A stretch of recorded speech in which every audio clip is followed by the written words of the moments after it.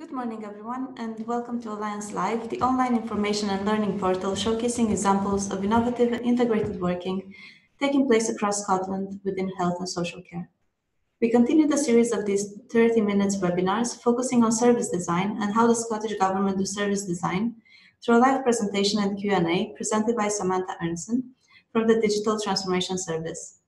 Sam has worked in user-centered design space for the past 15 years, mostly in the private sector. The past two have been spent with Scottish Government, leading a small team to build service design delivery through their digital transformation service. Sam's personal projects include working on digital licensing with SEPA and SNH and evolving disability benefits to Social Security Scotland. As Sam delivers her presentation, we invite the audience to pose, to pose questions using the chat box which is found within the toolbar. This will make up the questions for the Q&A session, which will follow on the presentations and bring our webinar to a close. Now, without further delay, over to Sam. Thanks, Carmen. Uh, morning, everyone. Um, so I'm just going to do a quick presentation that kind of gives a bit of an introduction to the service design approach, what is service design, and also the approach that we're taking within uh, Scottish Government. Um, just trying to move the slide, one second. So I think the first question that we often get asked is um, how do we define a service? And I think if there's anything that service design um, does is it really helps to start lift the people's view from um, a process or process a set of processes to actually see what a, the service view is for their clients. So I think if you were starting on your first journey or first foray into service design, just trying to understand what the service view is of your product is a really important thing to do. When you're thinking from that service lens, you'll be able to see all of the systems that your users engage with and in fact unearth all of the users that actually engage with your service and that's really the view that the service designer really needs to take. And by doing this is a naturally inclusive design approach. So the service design approach is making sure that you're including everybody by way of just the view and the lens that you take. The second question we often get asked is what is design? So this is a tool um, as well as a kind of um, visual mechanic, which is often used to describe the design process. Um, some of you may be familiar with this. It's called the double diamond. And it's a really simple way of understanding the kind of um, route that we might take, service designer might take, in order to help um, an organization facilitate um, the work that they want to do. And what we often find is that the first thing that organisations have not done is understood the problem space. And that is exactly where the service designer really starts. So by taking a service view of the product or organisation and really understand what your users are experiencing or can experience, you really start to understand and unearth what are some of the issues and problems that people face. Um, what we experience with a lot of organisations is that they've already decided the solution that they want to implement and they already feel that they understand the problem, but all too often that problem is only understood through the lens of the organisation or business and not from the users. So this first part of the double diamond is the part that we encourage people to spend, I think, the longest time in. And really, if we're not starting with understanding what the problems are, we won't know whether we've solved those problems by the time we've finished the project or implemented the solution. So, this really, by not just understanding your users' issues, the way your users experience things, it's really important also that service designers establish what are the kind of um, what I like to call the moments of truth in the journey, where we can start to measure the impacts that we're actually having, because we know how to measure and to, to understand that we've solved the problems that we, we've actually um, understood. The second part is really, second and third is really where the designing starts to take place. And I'll talk about some of those um, approaches in a moment, but very often we will go through as after this sort of discovery phase and understanding the, the problems, this is where all the ideas take place in part two, which is define. So we will start prototyping and coming up with ideas and using co-design, uh, which is working with users to sometimes come up with those ideas with users, sometimes um, kind of validating those ideas with users, and those don't be afraid of doing that part of the process um, at this stage at part two. It's all about volume. No idea is a bad idea.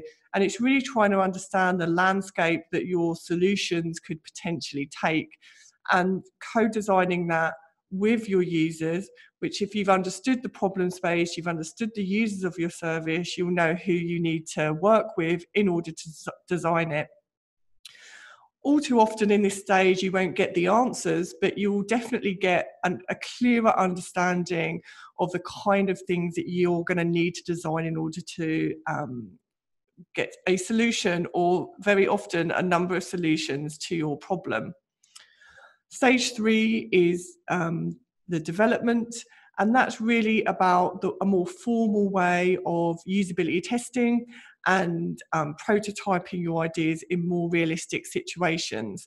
So that could take place anything from um, if you're designing a digital artifact, doing some testing of wireframes and just some sketches to making those um, wireframes functional through to actually testing that wireframe in the situation that a client might actually be using it and trying to um, either recreate um, as best you can the actual environment and as much of the journey that you can.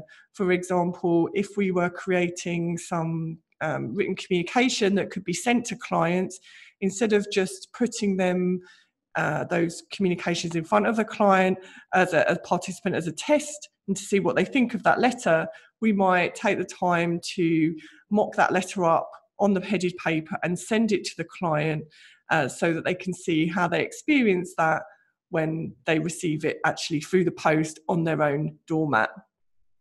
And the fourth part of the double diamond is called deliver.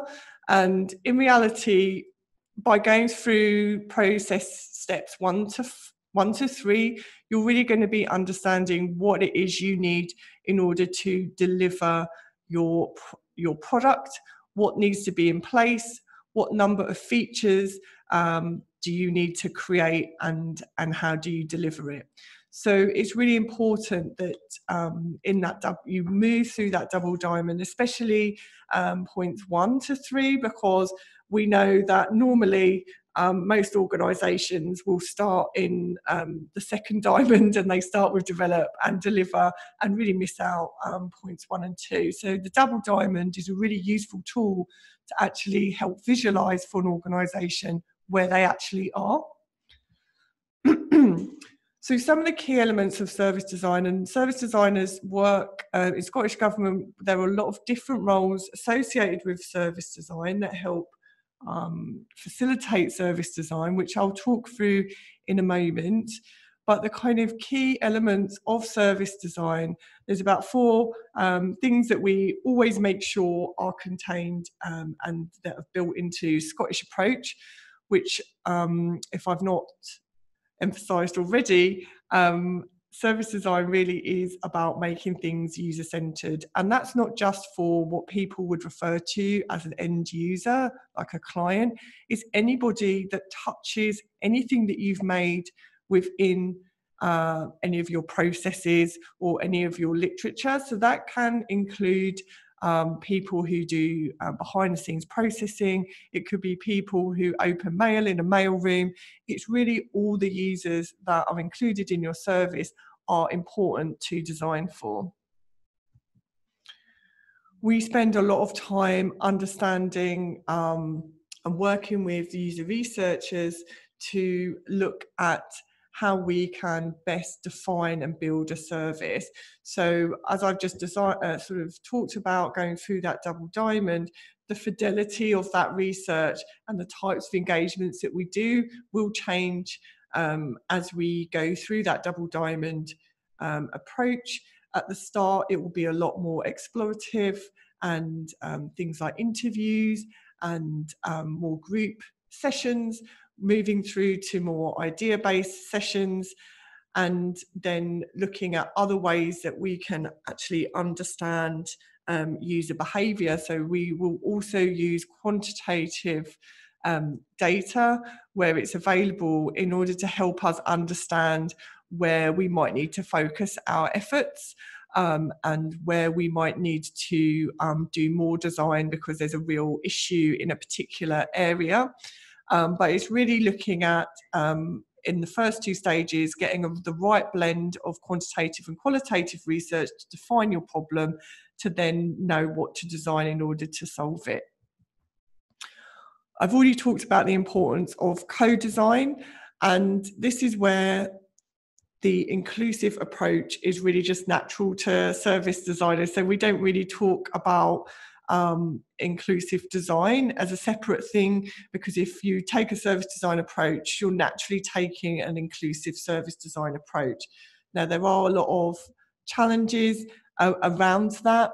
And in Scottish Government, we're working hard to help try and build some tools and techniques to help, or tools and approaches, I would say, to really try and help ensure that um, we can actually co-design services with every for every user. Um, we've just I'm just working on um, social security, uh, disability benefits. So we've worked with lots of different users uh, with lots and lots of different needs. So it's not just about creating workshops with lots of post it notes and sticking things up on the walls. We've really had to think long and hard about how we um, reach users um, that have particular needs, which has been a real, I think, as a service designer, I kind of relish in that challenge. It's exciting for me. And I'm always um, get quite excited when, especially when I am working with people using assistive technology, I'm always like totally astounded at how people navigate the world using these tools and um, has really helped shape actually the um, approach that we've taken um, in for quite a lot of things. An, ex- an example where service design and user research, so we do work a lot with user research, and we have a, I'd say there's a healthy tension between the two roles. User researchers, their role is really understanding, obviously understanding the user, which the service design ne- designer needs, but in terms when it comes to the looking at the ideas and trying to generate ideas, a service designer is more likely to look at the extreme users of a service. So identifying those extreme users is really important. So either somebody who I'd, I would describe an extreme user as somebody who um, either engages with the service already a lot, a lot higher than you would anticipate the norm, or doesn't engage with the service at all. Um, an example that I sort of use um, is that if you were trying to design, try and use a sort of totally product led example, if you were trying to design a new deodorant, you might not just talk to people um, who just use deodorant every day. You're going to talk to people who use deodorant multiple times a day or people who don't use deodorant at all. And that's really when it comes to that define phase and it comes to the ideation, part of um, the service design in part two of the double diamond, that's where your extreme users really can help you um, formulate some really exciting ideas and really get you to um, a bit of a different place than you would do. Just keep talking to uh, regular users of your service. So it's really important um, as I've kind of expressed already, moving through that double diamond, that the, the approach to service design is about iteration.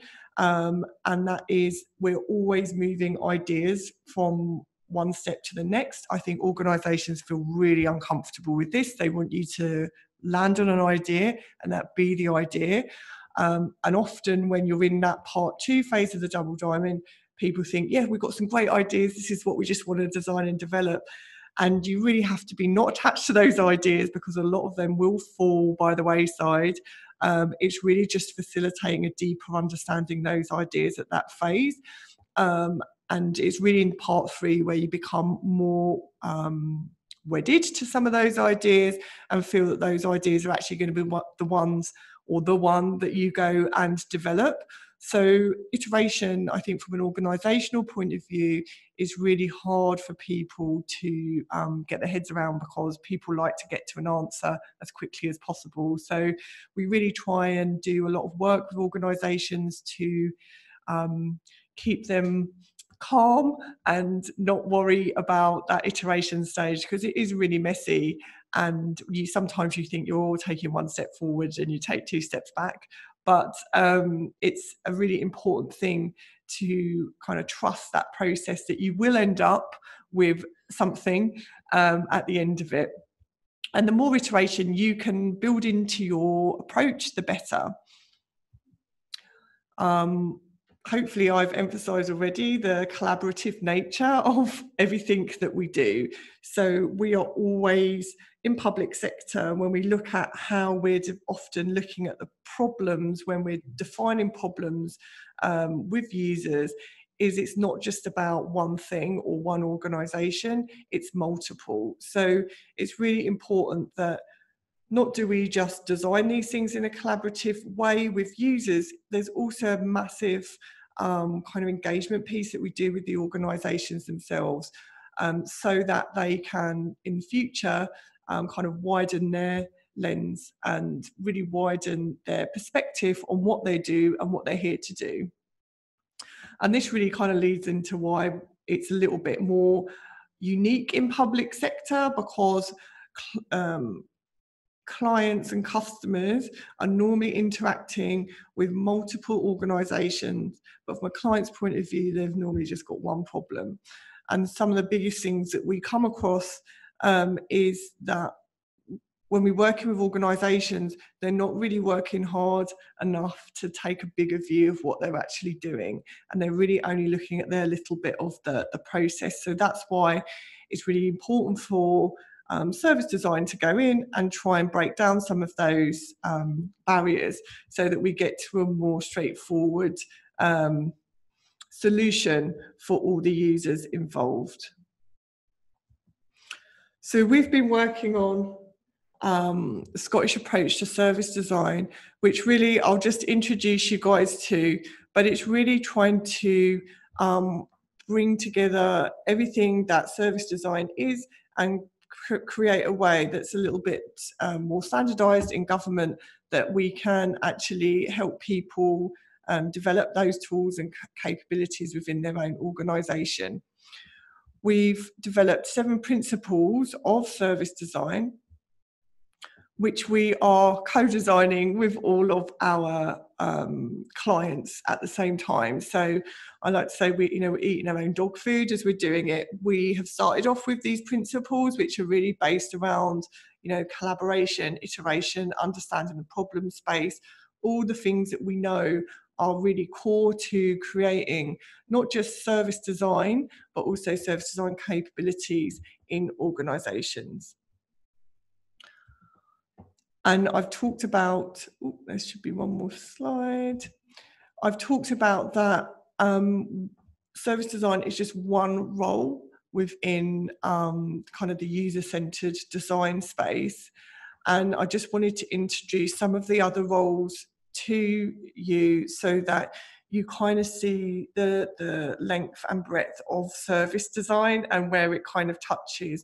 And quite often we are the gate people either start with getting a user researcher in or they might start with getting a service designer in. But when you start to do user centered design, quite often you will need um, kind of a small multidisciplinary team to try and help um, facilitate what you're trying to design. And one of the things that we're trying to um, trying to demonstrate um, in government is how when you get a multidisciplinary team together, you actually get a much better result than if you just have a user researcher or a service designer. But it is true, a service designer does kind of facilitate a lot of the overall design of things. But the reality is that we will work with more specialized design um, practices in order to refine the approach. Um, so one of the most uh, important quite often everything we do has content involved in it.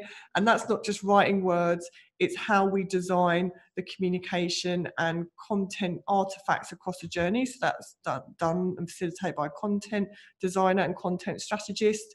Um, quite a lot of the time there's a lot of visual elements to what we do. So we interface with graphic designer a graphic designer when we need something that's a bit beyond our own visual capabilities. Interaction design, some people might recognize that as user experience, um, but that's really um, understanding how interactions um, need to work in a digital space. So they might get involved in digit, um, prototyping digital artifacts. Um, service designer, which obviously talked about quite a lot. A technical writer could be if you are um, so in social security, we do a lot of trying to translate um, legislation um, so that it's digestible for all the users of that service, including the people who process that. So that will be a technical writer that could help facilitate that. And obviously, a user researcher is somebody that um, service designers work very closely with to help facilitate that understanding of all of the different user needs and, and user issues. So I think that's me? Just two minutes over. Sorry about that guys but um, i'm happy to take any questions. Thank you very much sam. So that brings us to the end of the presentation presentation section and on to the q&a portion of the webinar. We have time for a couple of questions and i would like to start with this one which came in the chat box and you've already touched upon this.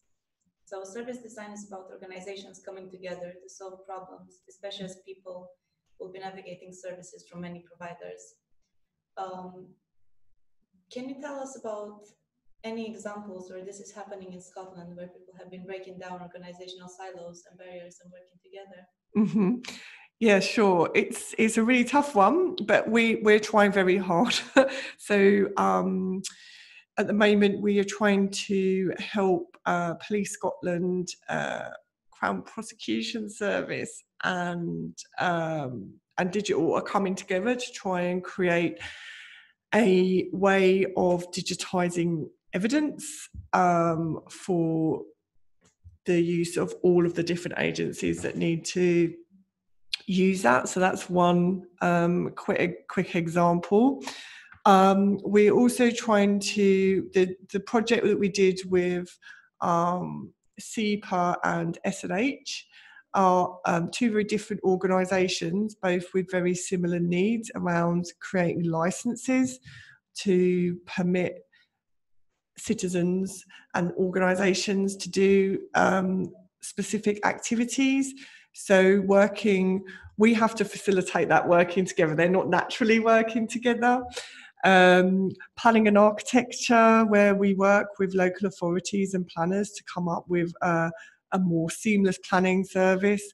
Um, and even within social security, working with local authorities, working with uh, health boards, working and, and NHS to really help ensure that if we need to collect any information about a client um, to support the application, we can do that in a really straightforward way so the client doesn't have to run around and collect lots of things. Um, so yeah, that's a couple of examples. Hopefully that's answered your question. Thank you very much. Um, and we also had a similar question coming in over email. Um, and Hilda from COPE was wondering if it would be possible to provide some links for further reading of mm-hmm. examples like this, especially around mental health and how service design was done, who it involved, and so on. Mm-hmm. For ment- for projects that so just links to further reading. Okay. So we could, there's definitely further reading around service design. Um, I think I'm just trying to think of anything around that specifically touches on um, that might be relevant. I'll have to have a think about it. So, like, we haven't. We're starting to create some case studies to try and help people sort of see how service design and user-centered design, actually, I should say, have kind of um, manifested in different organisations. So, I can definitely share some of those with you. That would be perfect. Thank you. Um, and another question.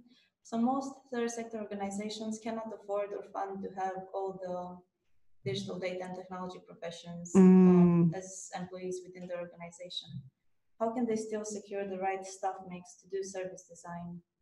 Can some of these roles be be combined maybe, or are there any small steps that they can start with?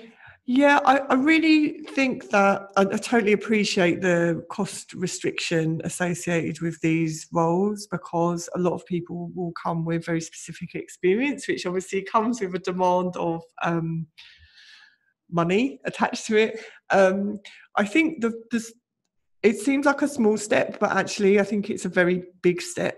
That if you start um, with looking at your whatever you're doing, whatever the project is, or whether you're whether it's your organisation, and really being able to take a service view. Um, the first slide that I started with, understand who are all your users and how are they using your service, and what are the moments of truth that are really important to them. Um, that would be the first thing that I think is a really important step because you even just doing that exercise will um, unearth, even if you did that internally and then took that out to users of your service to see how they kind of um, view what you've done and um, add some more kind of um, detail to it. I think just that in itself really starts to not just open your eyes, but also some of your senior um, management, um, their perception of what they're doing starts to grow a lot bigger, and they'll they'll start to see opportunities to tie up. And I think that's for me the most powerful thing in service design that we're trying to help people see the things from a user's perspective and i think that's where the visualization comes in. But it doesn't have to be beautiful. It can we work a lot with big bits of brown paper and um, lots of post-it notes or just you know drawing it out like a big grid. We often the biggest thing that people do is they don't think about the service from the user's point of view and doing that really does open your eyes. So that'd be my first recommended action to take and the second would be take it to users to try and start building on it Okay, um, well, thank you very much, Sam. That brings us to the end of the webinar. Um, so thank you for delivering the fantastic presentation and answering the questions from audience. We hope that this webinar has provided some insight and takeaways to bring to your own organizations and we'll follow up with links to the case studies and further reading as well.